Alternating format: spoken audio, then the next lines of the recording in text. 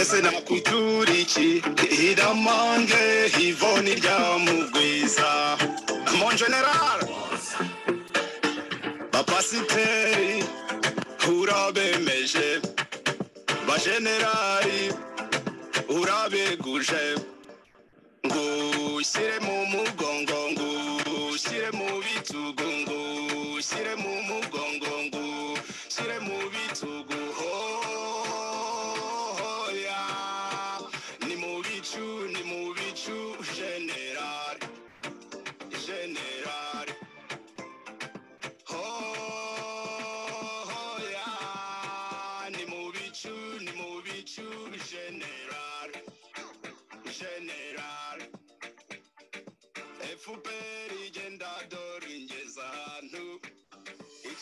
cyawe genda dore ungeza ahantu.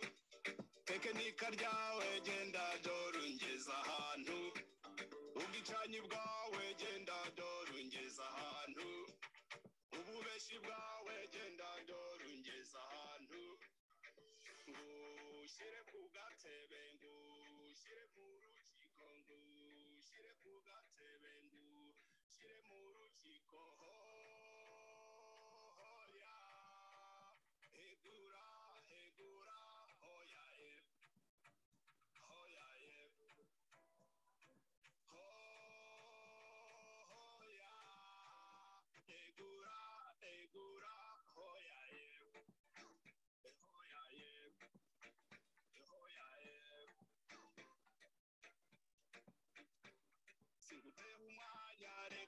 reka nivugire idamange idamange uravuze mitambo n'ikibatsi idamange urarashe mitambo n'ikibatsi idamange uratambutse mitambo n'ikibatsi idamange ukoroye mitambo n'ikibatsi ndene mu rukiko naho wavuze ibibatsi. Ngushyire mu mugongo ngushyire ku bitugu ngushyire mu mugongo ngushyire ku rutugu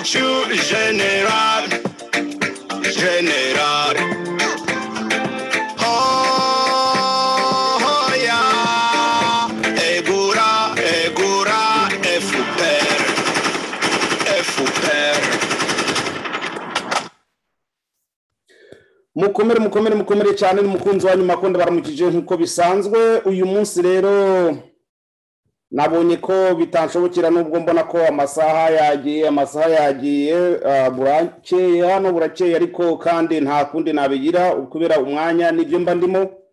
Ntabwo rero nshobora kwirengagiza ko ejo hashize mu masaha yarangiye twari turi kumwe n'abandi bantu tuvuga ku bya generali damange. Ibyo yavuze abadashaka kubibona ni abambari b'ifaranga abadashaka kubibona ni ba bandi b'abanyepolitike ba bandi ba politike.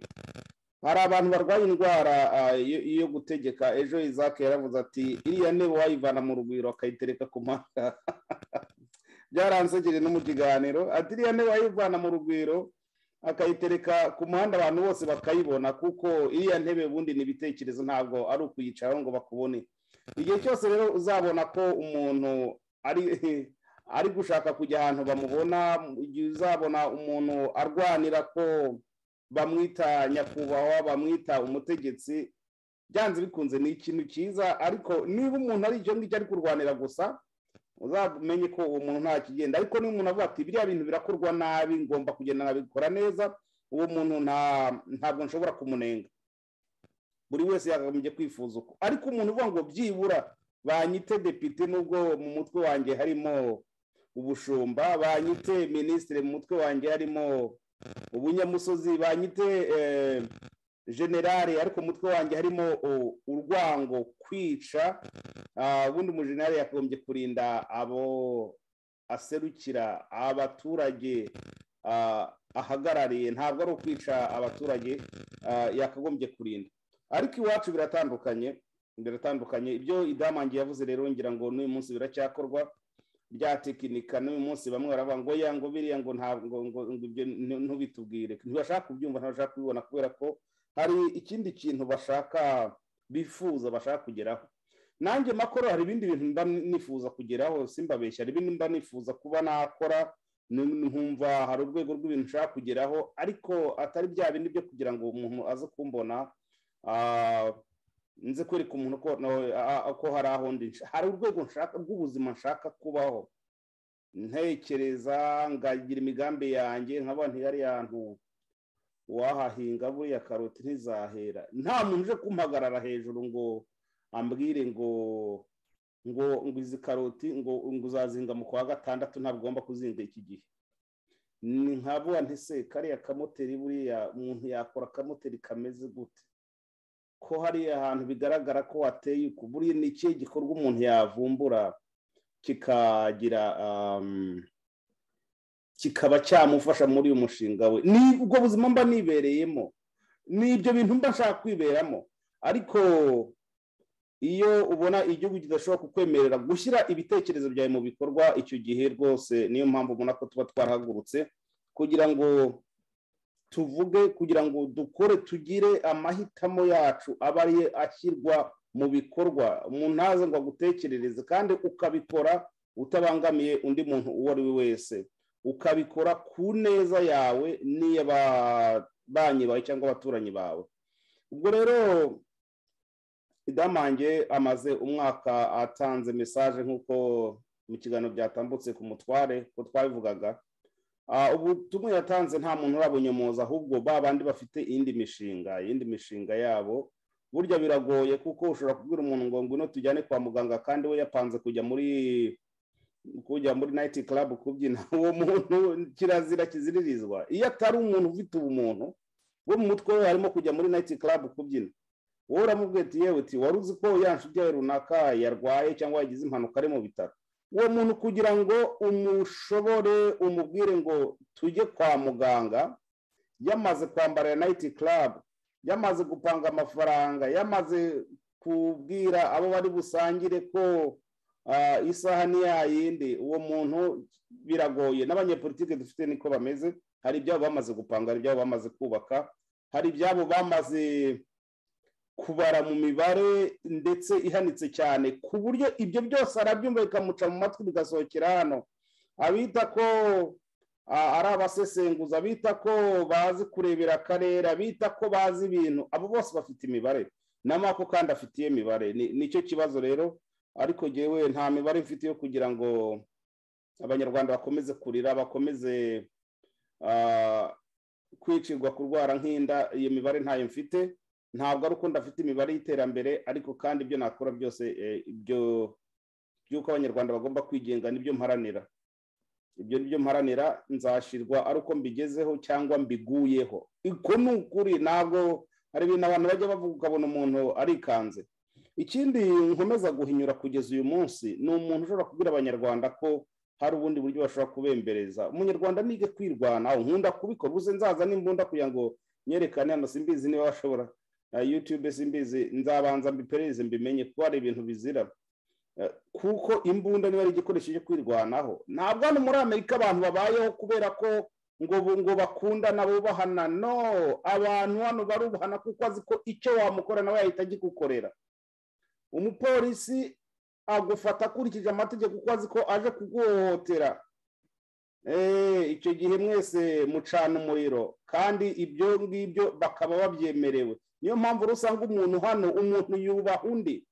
Nta kubyigana niyo mpamvu akenshi rero iyo bitabaye ibyo ngibyo usanga barasanye na polisi ariko ntabwo ari umuntu usanzwe urasa na polisi. Ni abantu bafite imitima nk'iriya y'inkotanyi nimuzajya mwumva abantu barasanye na polisi mujye mumenya ko ni ba- abantu bameze nk'inkotanyi.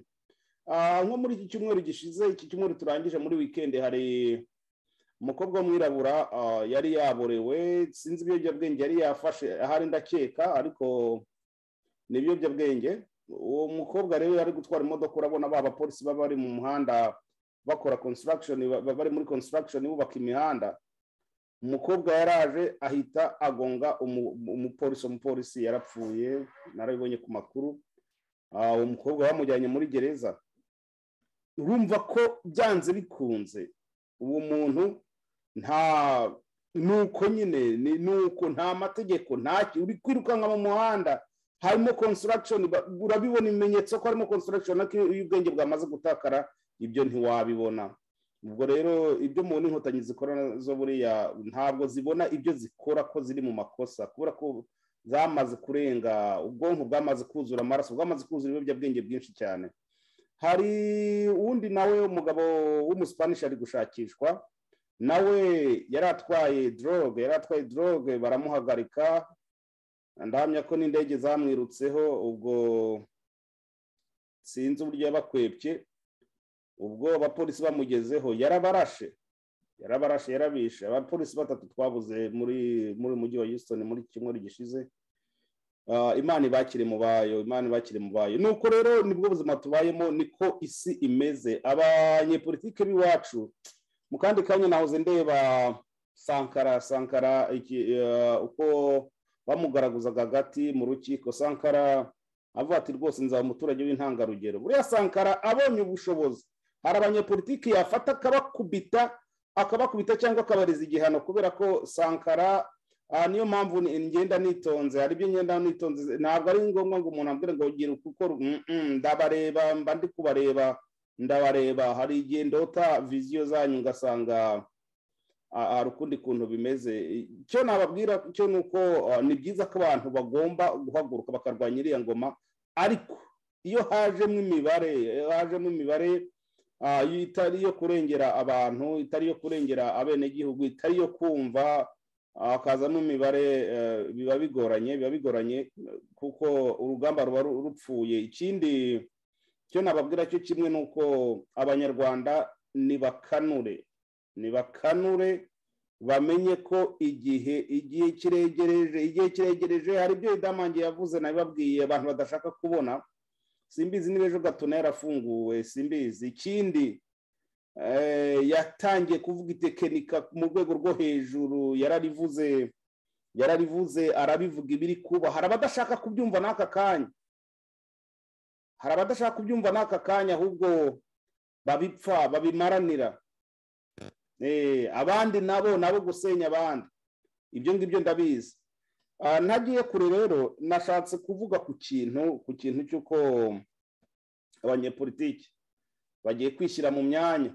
Eh, nyamwasa agiye kuba perezida bamwe bagiye kugaruka nyamwasa ariko uzabampondere uzabankubitire rwose uzabankubitire ubereke aho ubera akaga kuko hari abanyepolitike nta ariko se abanyepolitike ntibansumirinda bariya. Bacunga aho biri kurya ariko wa mugani wa mugani ariko ibyo mako ntabyo nashobora pe ntabyo nashobora. Ntabyo nashobora. Hari abamaze kwi- kwipozisiyona kwa kundi mu bivuga amaze kwishyira mu myanya. Eh, nyamwasa agiye kuba perezida. Eh, urupfu rw'abahutu ntaho ruri. Urupfu rw'abahutu ntaho ruri. Icyo nemera cyo ni uko nyamwasa abaye perezida n'ubundi naba nkiri impunzi ubuziraherezo. Kuri jyewe naba nkiri impunzi. Ibyo simbabeshye kuko nta nyamwasa uzahindura ibyo yangije nta nyamwasa uze- uzemera gusaba abanyarwanda imbabazi ntabyo ashobora gukora. Ni naryo jambo ryonyine namutegerejeho. Ntabwo ndi kwipozisiyona rwose mu byumve niryo jambo mpora mvuga. Nyamwasa nyamwasa eh nyamwasa yakoze ibintu byinshi cyane bikomeye. Aha wenda se ya masasu ashobora kuba yaramwigishije akavuga ati burya nanjye kuko abo niciye na- na- narahemutse. Wenda se tuvuge uku nguku. Ariko abari kwipozisiyona uh, gusanga nyamwasa cyangwa se batangiye mugane wa wa wundi rudasingwa ngo bahagize imaka uzabanze ubakubitira ariko. Ubakubite kabiri ubafungire mu buvumo uzashyiremo amazi ashyushye. Rwose ibyo nzi ko ubishoboye. Kuko hari igihe ureba abantu ugasanga abantu sinzi uko bimeze. Erega ibyo ndi kuvuga ndabizi neza ntimugire ngo ndi kurota. Hari abamaze kwipozisiyona ati nyamwasa niba agiye kuba perezida turatashye. Aya nzataha itegeko nshinga ryarahindutse eh, hari ubundi buryo igihugu kiyoborwe. Naho simbizi Eh, noneho rero reka ntaza gutinda. Icyo nshatse kubabwira ni uko nta banyepolitike tugira dufite abanya- abanyamibare. Dufite abanyamibare. Ubu rero natwe tugomba kugira iyindi mibare yacu kuko tukareba ngo uyu muntu ninde niba umuntu atinya gufata intwaro ngo yirwaneho. Uwo muntu simbizi turarwana n'abantu bakoresha ibikoresho bikomeye cyane ubugome. Ubugeni narababwiye ngo ah, ntabwo nashobora kuroga ariko nanjye iyo turwana nzi ko akoresha utwo tuzi nanjye watuma najya natubika nkatugendana nanjye nkatubaha simbabeshye. Si utuzi bakoresha? Si amasasu bakoresha? Ibyo nanjye Ah, dani munyiza se dani munyiza ntabwo yamvunguriraho nanjye natubaha kuko niba hari abantu ba mbere bakunda ibitaramo no kuryoherwa. Nibo bumve ko ibintu bakora ibintu bakora bumve ko ibyo bakorera abandi bo umuntu agiye kubashaka yabamara. Ntabwo uri kuba tudakora ibyo ari uko turi ibicucu. Ni ubwaba umuntu twaremanywe ni bwa muntu twaremanywe ariko nkagaya umuntu wese uvuga ngo ari kurwana muri iki gihe ararwana n'izo nkotanyi atinya gufata inkoni ngo akubite imisega. Ibyo bintu ngewe mpita nkureba nkavuga ntiwapi ikindi imibare muyigabanye imibare murimo turayizi. Hanyuma rero ah, reka ntabarambira mvuge ku kintu kimwe. Hari abantu bambwira ati mako kutagitangaza abantu? Eh hariya harimo imitego hariya harimo imitego. Ndababwiza ukuri ko njyewe nagiye mbabwira ibintu ntimubyumve. Ariko mwumve ko mako harimo imitego harimo imitego myinshi cyane. Niba umuntu ambwira ngo ngo ashobora kohereza tuvuge amafaranga ari hejuru y'ibihumbi makumyabiri by'amadolari ariko muhereze umwirondoro biki n'ibiki n'ibiki n'ibiki n'amayimeri yanjye. Aho mujye mubyitondera ngewe mfite uko mbaye mfite n'uko ngenda.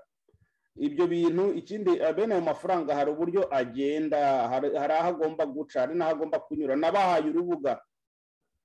Wawawa akadomo seneri defereni akadomo oraga narabibahaye nzongera mbyandike. Ikindi nabwo hari abavandimwe babiri bashatse kumpa amafaranga nababwiye. Byo ntuzambwira ngo amafaranga nacije kuri rwa rubuga uwo muntu akabimbwira akamara ngo hagiye wayo nzacekinga ndebe ko nushaka ntuzashyireho amazina. Nzacekinga ndebe amafaranga yagiyeho umbwire n'isaha yashyiriyeho. Nzaguhereza iyo kode rwose ngushimire ko kuri urwo rubuga yagiyeho.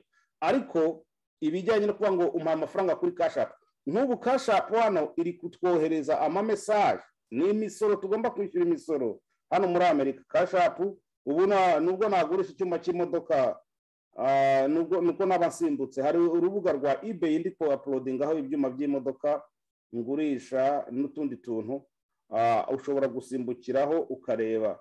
Banca imisoro nk'iyo bashobora kunca hariya. Hari ah, nk'ubu tugiye kujya mu bihe by'amatagisi ritani tagisi ritani zo muri amerika rero zo imisoro baguciye n'undi y'amafaranga barayakugarurira. Ubu abantu bagiye kuryoha. Ubu abantu bagiye gufata amafaranga y'imisoro ba- y'imisoro babakase ku- mishahara y'akazi. Abantu bagiye gufata ah, imisoro ah, amafaranga babungukiye ah, mu bucuruzi bwabo. Bagiye kubagarura imisoro. Ariko biriya bisambo by'i kigali byo amafaranga birayatwara n'ejo bikagaruka bikiyongeza byarangiza n'iduka bikarifunga. Ntabwo bishobora kukungukira. Ngicyo kintu mpfa n'inkotanyi rero. Icyo nababwira rero kimwe n'iki. Ni uko niba ushaka koko gufasha gufasha mako mako ushaka kumufasha muri uru rugamba turimo hariya. Ikindi abantu barambwira bati rwose mako nsubije n'umuvandimwe uri hano arizona. Ejo twaravuganye ndi mu kazi twaravuganye ndamwana turaza kuvugana mbisubiyemo n'ubundi. Ubu nta mafaranga ushobora kunyohereza kuri ah, ku nzira iza kwa mako diregiti ntibishoboka kuko ntabwo zirindi izina ry'abandi bantu. Kuko jewe mako nk'ubu ngubu nagiye mpura n'ibibazo byinshi cyane. Muri uru rugamba ndashobora kubwira umuntu ngo nagire gute. Ndababwiza ukuri ko hari igihe nigeze guhagarara kubera iki? Ngabwaho ibitero kompiyuta buri munsi na yo fungura kompiyuta ngasanga ngasanga wapi? Amavirusi barunzemo nk'igihumbi. Kwandikira n'abantu gusa kuri imeri ndavuga no imeri ndayihindura. Ikindi eh, mfite kompiyuta yashiririye hari igihe nzayizana nkayibereka. Kompiyuta irashya igashirira igacumba umwotsi wari inyuma. Ah, igacumba umwotsi nuko nta kompiyuta yindi ah, mbona mfite hano aka kanya ariko kanze ndebe ko nshobora kubona kompiyuta hambavu yanjye ariko mbabwiza ukuri ko njyewe mfite kompiyuta yarashiririye icumba umwotsi. Yarashiririye icumba umwotsi. Aha inyuma. Aha. Ibyo ngibyo rero urabona ko n'ubundi mba nzicaranye kugira ngo ibitero bingezeho n'ubundi ntaza kugira ibibazo. Icyo nababwira kimwe. Ni uko sinshaka sinshaka rwose ndabibabwije ukuri sinshaka. Niba ushaka kumufasha cisha hariya inyuma. Numara kuhacisha inkunga ubimbwira ati igihe natanze amafaranga ya na yo haba kuri paypal ndabashimira rwose hari umuntu wa nyuma wampaye amafaranga wo muri ni ni muri irlande ni uwahe ya ibyo byose nari babwiye. Ntabwo nshaka no kuguma muri ubwo buryo. Ntabwo nshaka kuguma muri ubwo buryo. Ikindi hari ibindi byanjye byinshi ngomba gukora. Gusa iyi nkunga nshobora gusaba ku ruhande rwa mako nk'ubu mfite indirimbo zigera ku bihumbi. Nararahiye mvuga ko ntazasubira muri sitidiyo ngiye muri sitidiyo aho bambarira iminota. Ari abantu ndi kubwira ngo uyu muziki ukorwa gutya biragenda uku nguku. Ntibumve ibyanjye ni iki? No. Ubwo rero nasezeranye ko indirimbo ndakomeza nzandike nzibike.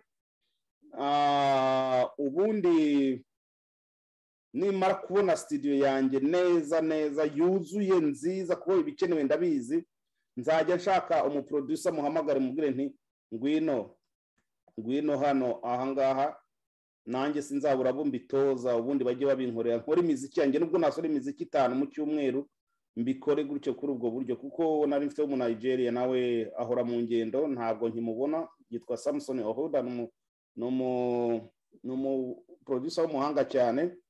Abandi rero nabizo ntore hari studio ndashobora gupfa kwinjiramo uko nguko ushobora kugeramo ugasanga ni urugogwe winjiyemo. Ibyo rero sinshobora sinshobora ndirinda mu byo nkora byose ndirinda. Ntimugire ngo nanze kurimba kubera ko ko ntabishaka ndazifite. Fata neza ko gaseke utekerewe na rurema imigezi n'amashyamba ibiyaga n'ibirunga. Iyo ni indirimbo nakoreye mu rwanda kera izo zose nzazisohora. Zose nzazisohora. Nk'umunkundira ubuhanga ku rugendo nk'umunkundira kuguruka nk'abakomando ukarangwa n'umwambaro mwiza wa gisirimu uru rurabo nyungwe yawe na rugira. Indirimbo ndazifite ni ibyatsi n'ibyondo ariko abashaka kumfasha nzabyandika muri description. Abashaka kumfasha kuri icyo kintu ngo mbone studio yanjye nk'ibyo ngomba gukora ni sawa. Ariko ntabwo ari umuzigo nshyize ku bantu. Ku giti cyanjye ntaho biri naho ku bijyanye n'uru rugamba bavuga ngo ngo mwebwe murakomeza muvuga ngo ngo muragaba ibitero ngo mwageze gute? Hari ikintu mugomba kwitondera. Turwana turwana n'abantu bafite amafaranga ikindi umuntu akaza kuvuga ngo muravuga ngo muri muri nyungwe. Muri nyungwe se barahatuboheye? Icyo ngicyo ni ikintu mugomba mugomba kwitondera. Mugomba kwitondera. Bashaka kumenya ngo muherereye. Twirirwa twiruka isi. Ariko ntumve ko abantu ari amapoto bashyize hariya ngo ngo aho basize ngo ubasange ikindi abantu babahetse abana abandi bafite uburwayi abandi bafite ibikomere abandi bafite inzara warangiza ukaza gushinyagura. Igumira aho ngaho icyo nzi icyo nzi ko umugabo ari uwafashe intwaro ibindi tubyihorere.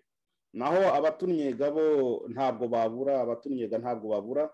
Gusa nzi ko umugabo ufite inkoni aruta umugabo witwaje ubusa witwaje umunwa gusa. Icyo ngicyo ndacyemera ikindi nimuzajya mwemera muzajye ikintu muzajya mwemerera inkotanyi ni uko zizi neza ko kurwana ari igikoresho. Naho kurwana ku munwa gusa ibyo byo ntacyo bivuze.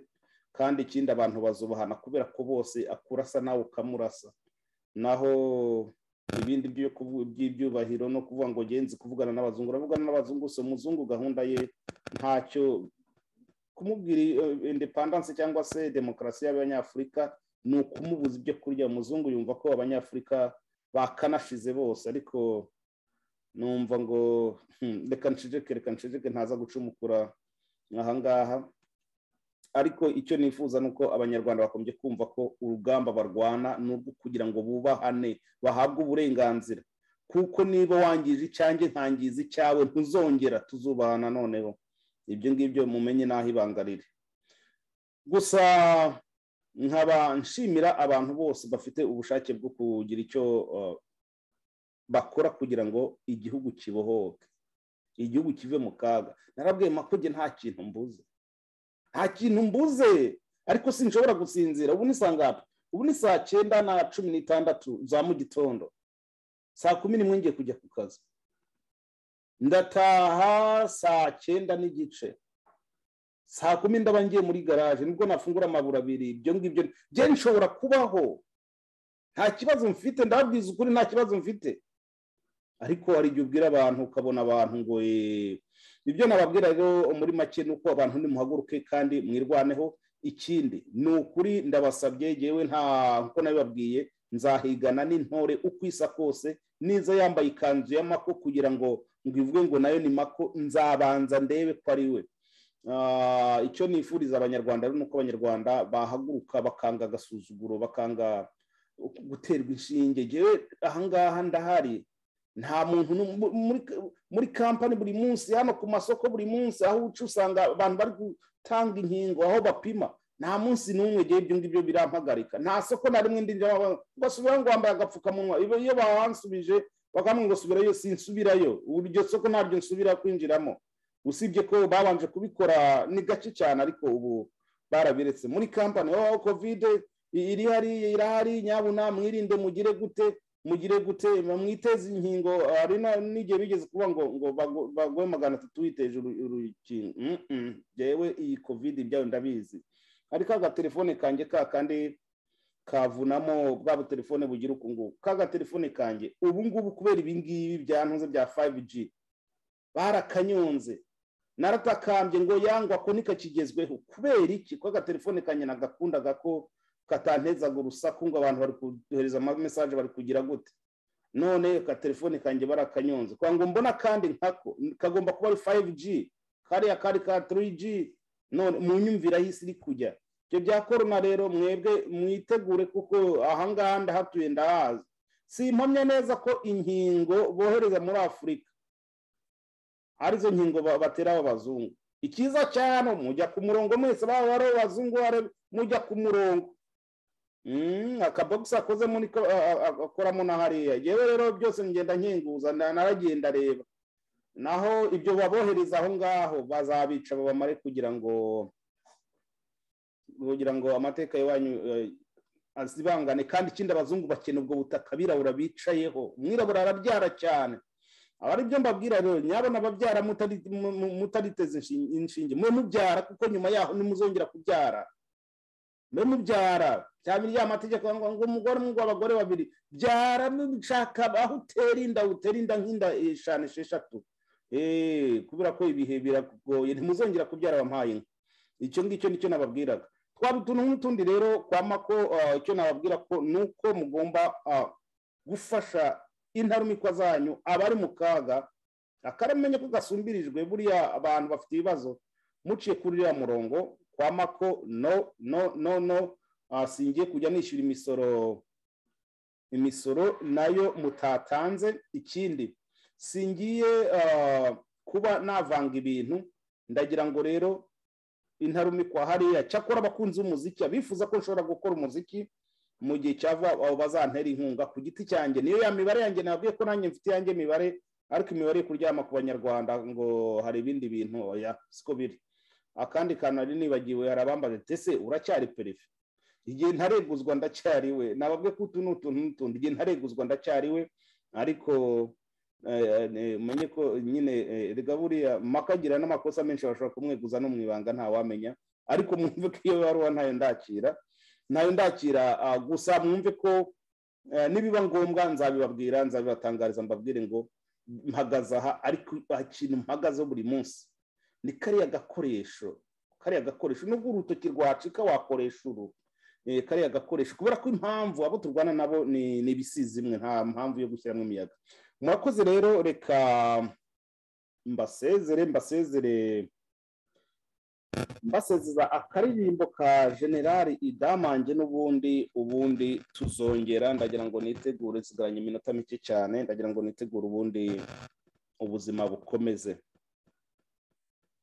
Bwawe genda dore ungeza ahantu.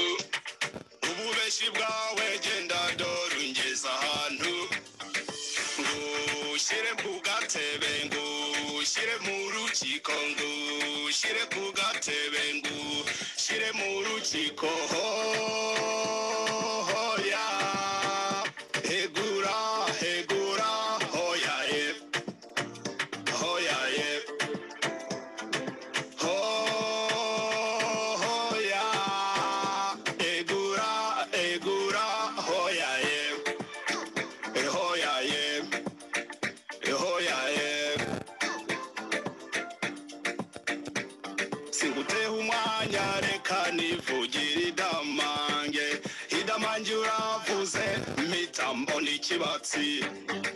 idamange urarashe mpita mbona ikibatsi idamanga uratambutse mpita mbona ikibatsi